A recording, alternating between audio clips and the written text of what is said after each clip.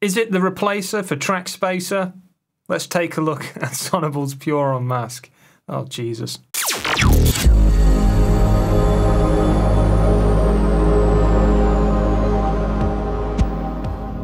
Pure Unmask is the latest AI powered addition to the Pure lineup. Its job is to reduce conflicts between tracks competing in the same frequency space, causing masking, giving one track priority over another by way of spectral processing. In this example, I want the lead vocals to not clash as much with the guitars. To do this, we need to set up pure unmask on the target track we would like to be affected, in this case the guitars. Next we need to set up the sidechain input.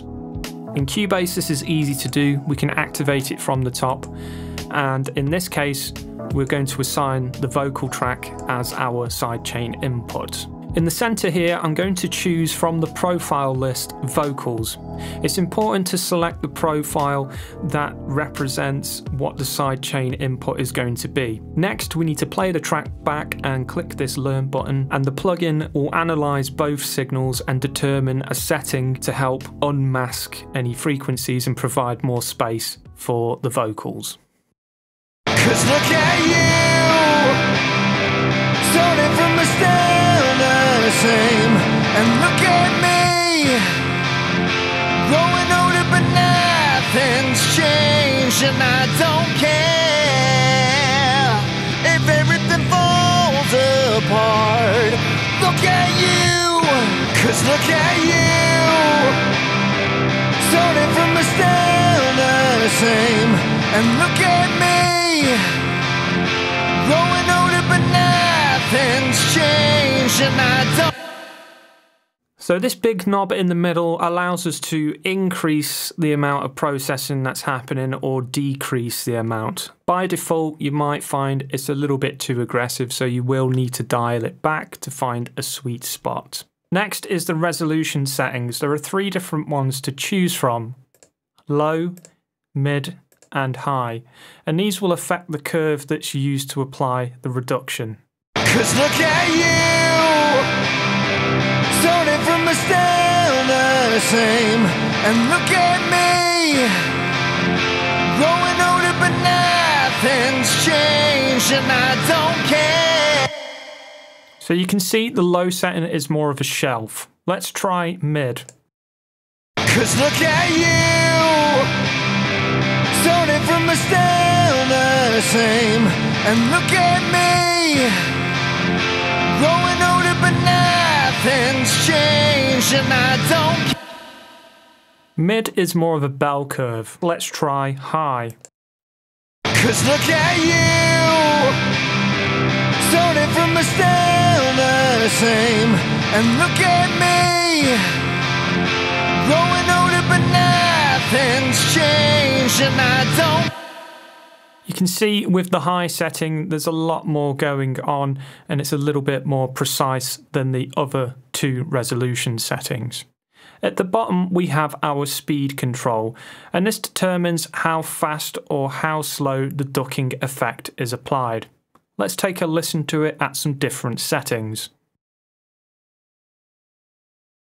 Cause look at you, starting from a still the same.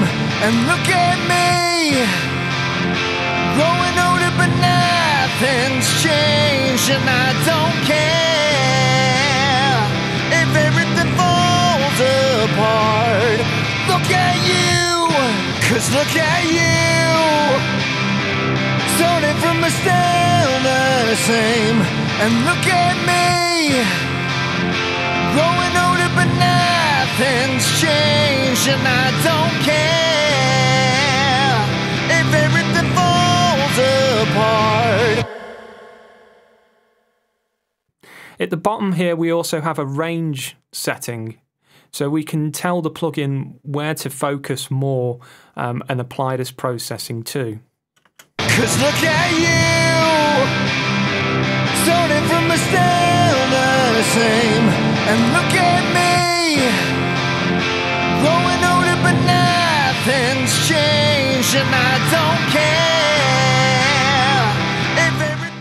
Some of you watching this may already own a plugin called Trackspacer by Waves Factory.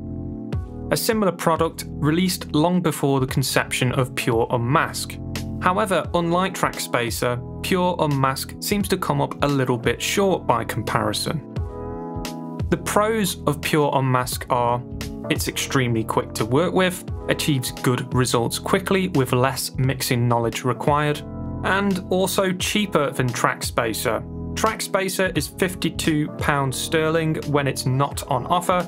Currently, Pure Unmask is on its introductory pricing of £25. Then, after the intro, it will go back to its regular price of £39. So, what are the cons of Pure Unmask? Well, let's list them. Having both attack and release baked into the speed control is a little bit limiting, and even at the fastest setting, I find the release is a little bit on the slow side. It'd be nice to have these separate. There's no makeup gain controls, and you don't have control over where the processing is applied in the stereo field. You can't just apply this to the left channel, right channel, or the mid and side channels and sometimes the suggested settings can be a little bit on the aggressive side and you will need to dial them back.